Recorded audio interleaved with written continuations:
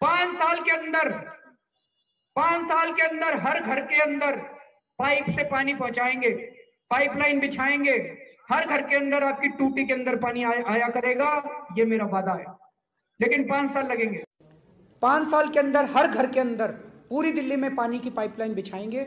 ये दिल्ली के लिए शर्म की बात है कि देश की राजधानी में हर घर में पानी नहीं आता। पाँच साल में पाइपलाइन बिछाएँगे हर घर में टूटी में पानी आएगा। दिसंबर 2017 तक यानी कि एग्जैक्टली 22 महीने के अंदर दिल्ली के हर कोने के अंदर, दिल्ली की हर कॉलोनी के अंदर, सभी घरों के अंदर पाइप से दिल्ली में पानी पहुँच जाएगा। दिल्ली की हर टूटी के अंदर जो पानी आएगा वो पीने का होगा। सीधा दिल्ली की जल बोर्ड की टूटी से आप पानी पी सकते हैं। आपके आर से ज़्यादा अच्छा पानी जल बोर्ड का पानी मिला करेगा। हमें उम्मीद है कि 2024 तक हम दिल्ली के हर नागरिक को 24 घंटे पानी उनकी टूटी में मुहैया कराने में कामयाब होंगे।